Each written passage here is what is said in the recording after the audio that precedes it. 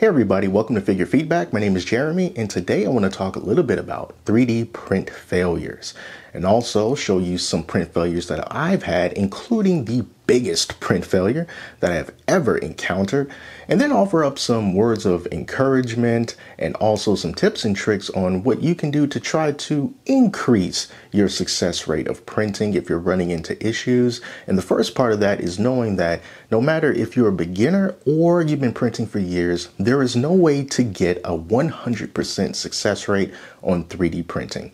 Sometimes things just happen and they are out of our control. And when you look at a lot of videos on YouTube, including the ones that I make that show these really amazing looking figures and these breathtaking dioramas, I know that it can be discouraging to see these beautiful, beautiful prints. And then if you look at what you're trying to do, you might be trying to print a little tiny test cube and are having no luck with it. And it might make you want to just stop printing altogether. But do not give up is something that everybody encounters, but not everyone shows those failures. All right. So nobody is perfect. So let me show you some print failures that I have here on the table. This is not all of them. These are just some ones that I decided to keep. The first one here is this leg piece of a cyborg Superman from Berserk 3D. Now, I had a goal of making the biggest 3D printed model that I have ever done on my small entry level machines.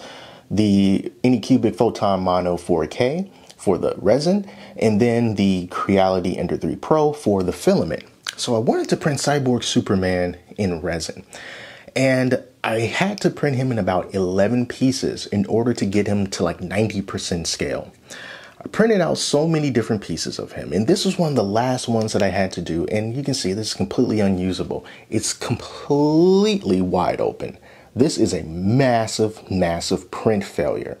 And I had other things on the build plate. So when I saw that this wasn't working out and the other ones were working out, you know, I had to just wait for those to finish. But then when this does happen, you have to go through the process of cleaning the vat. You have to do more washing, more curing, just more work, another pair of wasted gloves. And when you're doing prints back to back to back to back, it can be really draining, especially mentally draining to know that I've got to print this off again. And I actually had two failed prints of this exact same piece. I don't know what was going on, but two failed prints of this. Also, on the exact same figure, this is his waist. And at first blush, it looks like everything is just fine, but then when you look a little bit closer, you'll see that poor Superman here does not have a right butt cheek. It didn't print all the way down. And then also on the underside, it's uneven, it's a little bit separated, a little bit cracked. And as a result, the rest of the pieces don't fit properly inside. It, may, it leaves a really huge gap. So here I am with pieces successfully printed out using up a decent amount of resin to do so, but then running into print failures on two crucial pieces is super, super discouraging. And then there were some other pieces here that I don't have anymore. One sprung a resin leak, and I knew that that was going to happen because no uh, IPA was getting into the hole. It was pre hollowed out, and I had to go back in and print it solid so I wouldn't have to deal with that problem. And I printed some other pieces in filament because I ran out of resin, and then my FEP sheet developed a little bit of a puncture. All those things can be really, really discouraging, but in the end, it all worked out with this really, really awesome sculpture here that I'm going to make another video on to show you that in more detail. So even though those are smaller pieces that I had to reprint, the same thing happens sometimes if you're printing larger figures such as this Spider Woman here. Jessica Drew Spider Woman from Wicked. Now, I did a video review about this figure, but that review was based on the second attempted print. This was the first one, and she is completely solid. She's got good weight to her. She used a decent amount of resin, but I noticed that she was having some problems on the back. Pretty bad layer separation there on the back. And then I also learned a lesson about being impatient because when I saw her coming up kind of like this in the vat, I was looking at her and I thought that maybe her hands didn't print properly. So I decided to stop the print. But crazy me didn't realize that her hands were tucked into her thigh. And one of her hands wasn't even supposed to print at all. It was a part of the base and not a part of the figure. So really, I probably could have kept this and maybe just sanded it down to uh, to just try to get it as flat as possible. And no one's looking at the back, so probably could have gotten away with it because the front looks really good. But the second one that I tried to print came out even better. So either way, I stopped the print. So this is also a failure, but we soldier on nonetheless. Here are some other print failures. They're smaller, but they were also really discouraging. So here's Mario, also from Wicked. I thought this Mario was going to turn out all right, but he's got a big hole at the bottom of his arm. And then there's like this tear right here near his belly. And then there's just these weird gouges all around him. I had to print him back uh, again. And then here's his lower part. He's got this separation at his foot, and his foot was squished. And then his other leg didn't print at all. It's a big hole right there. Had to reprint that again. Here's a flying Koopa Troopa with a squished foot. Can't use that. And a squished hand. Had to use that. Can't use that. Had to do that again. Then I also did a video on the Cyclops and Rogue figure from Wicked. Cyclops turned out great, but here's one attempt at printing Rogue. Didn't work out too good because crazy separation right there on her leg. Don't worry, we can try it again. Only this time her arm didn't print properly. Okay, we have to try that again. Here's a piece for her head. It looks a little bit weird had to print that one again as well. Three attempts in order to get this Rogue to print properly. And if it just wasn't for me trying to have a piece of like 90s X-Men nostalgia, probably would have given up on it. And I'd imagine that other people would want to give up as well when they see that these prints aren't working out the way that they would like for them to. But if that happens, what I have to say is you need a win you need a win. You need to print something successfully, maybe something that you know that you can print successfully to kind of get you going and encourage you to keep going.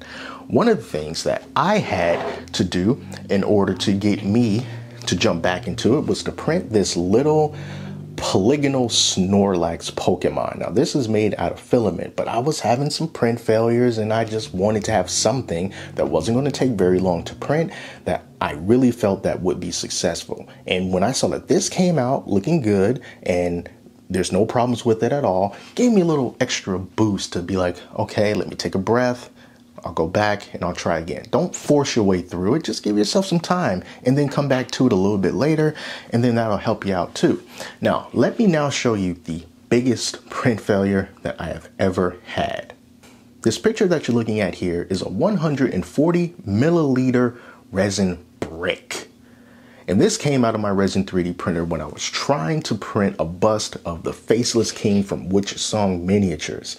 And what I did was I just started the print. I didn't even wait for the build plate to go all the way down into the resin and I just walked away. I didn't check up on it for several hours. I got cocky, I got confident thinking, hey, I got a good streak of successful prints. I'm sure this will be just fine. But what I didn't realize is that every layer that was being printed, instead of having the the outline basically of the figure printing up in layers, the entire screen was being cured layer by layer by layer until there was not a drop of resin left inside of that vat. Now, how did that happen and what can be done to stop it? Maybe you've, you've encountered something like that too. Well, the first thing that you can do is change your SD card. When you buy a 3D printer, chances are it's going to come with a USB stick that you can load your files on. And it's really great that they include those, but they are notorious for being cheap and unreliable. The USB stick that came with my printer, it started acting funny less than a week after I got it. I would plug into my computer and it would say something like, uh, this hardware is malfunctioning, click here to repair it. And then I would plug it into the printer and it wouldn't recognize any files until I sort of pushed it to the back you know, wiggling it, wiggling it like an old Nintendo cartridge, and then that would get it to, to recognize it. Now, even though I did change the USB stick for that printer, the file was corrupted. Don't know how it got corrupted after it was sliced, but it was totally corrupted. And I would have seen that if I had looked at the screen and checked on my print. I would have seen that the entire build plate was being cured at one time. The entire area of the screen and in the vat was being cured at one time. Instead of the individual layers of the figure, I could have stopped it. I could have saved myself a lot of resin. So the lesson here is if you can, periodically check on your prints look at what's being printed on the screen. And once it gets high enough, look into the vat and see what's coming up. You can catch it early enough, you'll be able to save yourself a lot of resin and you won't have a giant brick sitting inside of your disposable support basket like I do.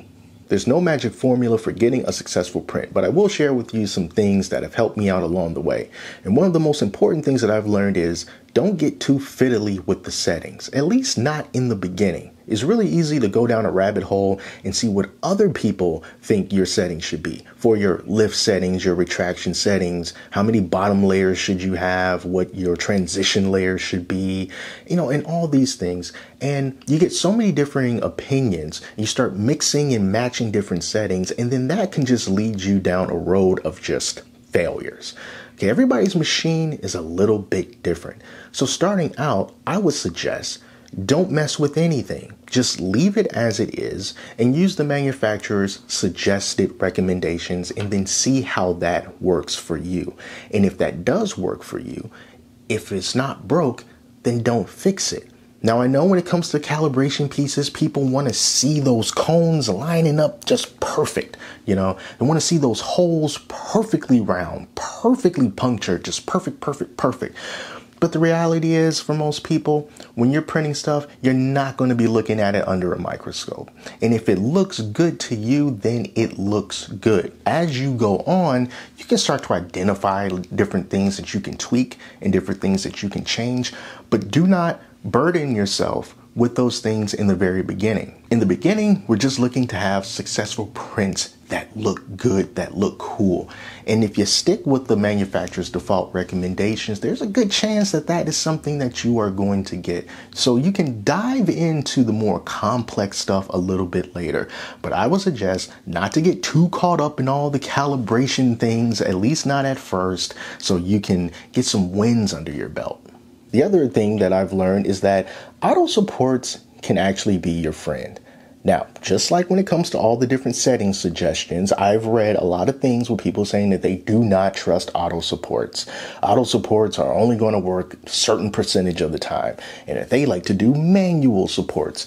And it made me think that uh, do I really have to learn how to manually support everything? Do I really need to know all about these different islands and and how to connect them? And should I do heavy? Should I do light? Should I do medium? What should the density be and all of this stuff?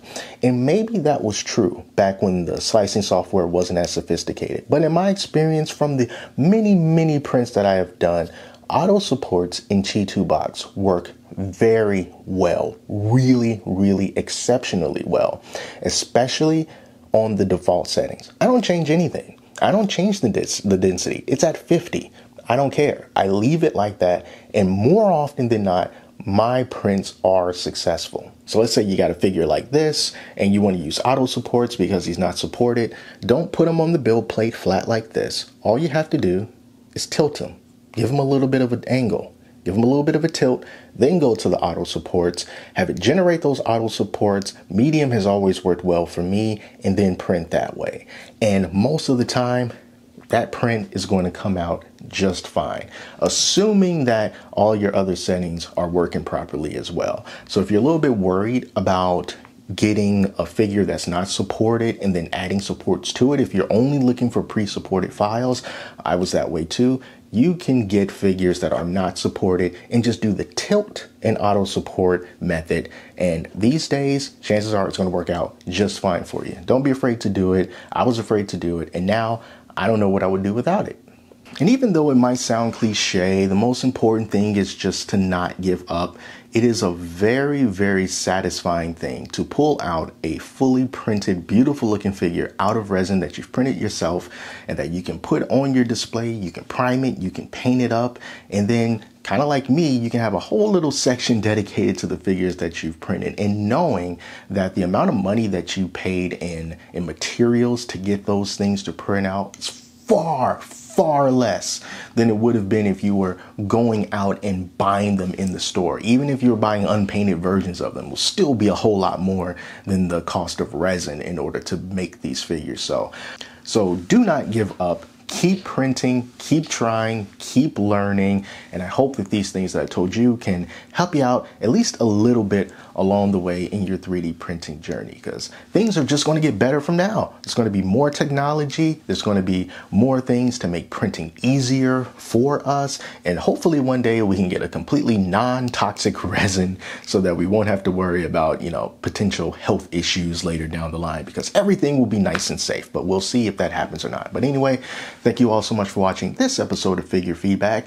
And if you have any suggestions, words of encouragement, anything like that when it comes to print print failures, anything that could help prevent print failures, please put it down into the comments below so that we can all read them and partake in community knowledge. So thank you all so much for watching. Until next time, I'm Jeremy. Take care of yourselves. I'll see you next time.